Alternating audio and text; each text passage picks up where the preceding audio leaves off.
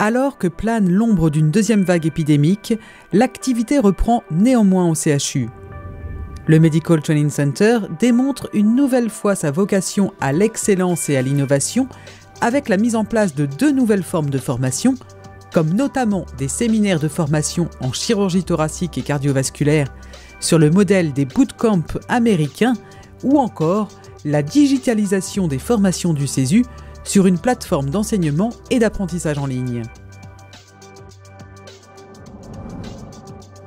Septembre marque également le coup d'envoi des travaux du futur bâtiment du Samus Mur.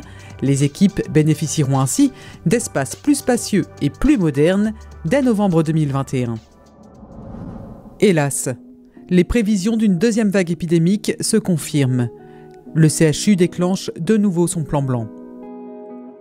Fort de son expérience passée, il adapte cette fois-ci son organisation avec un double enjeu, accueillir les patients souffrant de la Covid-19 tout en maintenant le plus possible ses autres activités. Pour ce faire, un tiers des activités chirurgicales et médicales n'induisant pas de perte de chance pour les patients est reporté.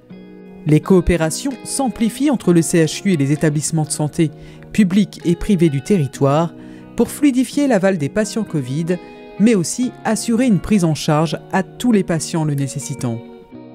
Cette organisation repose sur une permanence de régulation des admissions en réanimation, un bed manager 7 jours sur 7 pour les lits de médecine dédiés Covid, une plateforme d'orientation en SSR et une plateforme gériatrique fonctionnant 7 jours sur 7.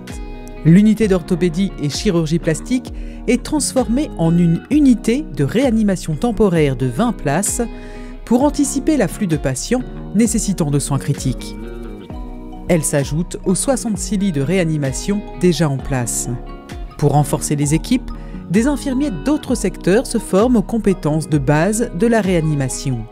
Ils bénéficient d'une formation de deux jours au CESU, suivie de trois jours d'immersion dans un service de réanimation conventionnel pour les infirmiers ayant déjà été mobilisés pour la première vague, ou 15 jours en binôme pour les nouvelles recrues.